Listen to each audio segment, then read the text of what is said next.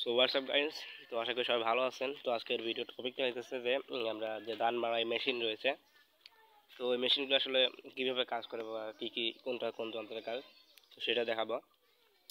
সাথেই থাকেন।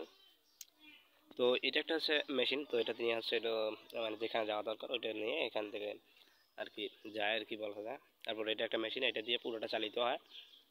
আর এটা দিয়া ধানটা মেরাই হয়। আর এই পাশে যে একটা জ্বালানি দেখতেছেন, এটা দিয়ে পরিষ্কার হয় ধানটা।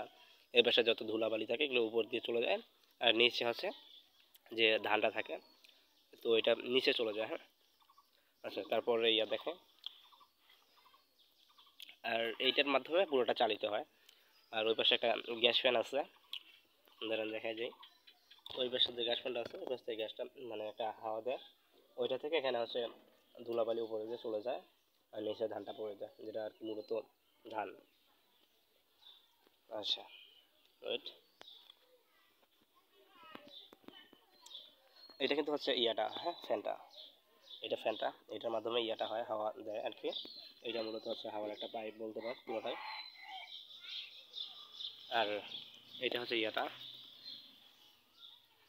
ওই পাশে দেখেন, এটা কিন্তু ইয়া হয়।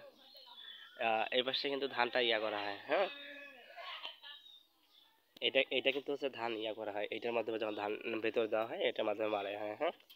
আচ্ছা এদিকে দেখাই।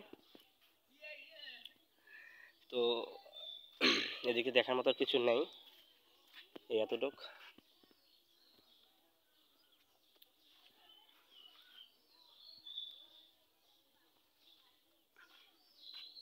আর এটা হচ্ছে মূলত কাজ হচ্ছে এই পাশ থেকে যে ধানটা বের করা হয় হুম। এটা থেকে বের হয়।